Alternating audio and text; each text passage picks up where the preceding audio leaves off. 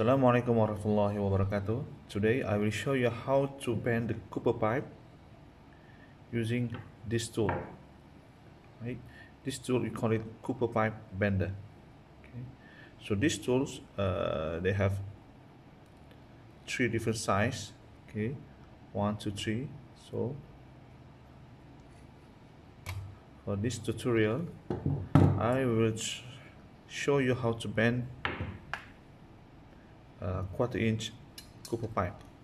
Okay first thing you need to slot in the copper pipe into the correct size.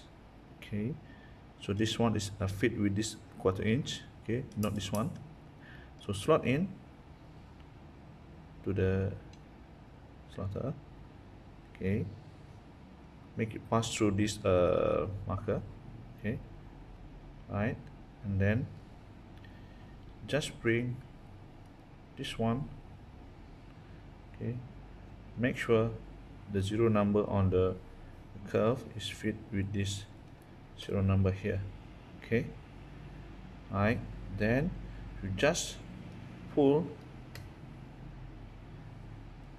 this handle toward this handle. Okay. Just pull it slowly. Okay. You could see the numbers on the curve okay? So 45 means 45 degree okay? This is 45 degree bending okay? So this is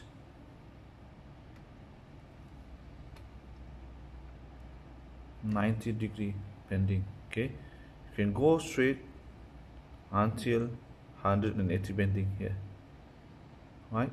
Then you just release the handle. Okay.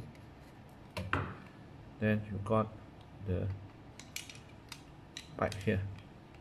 This. Okay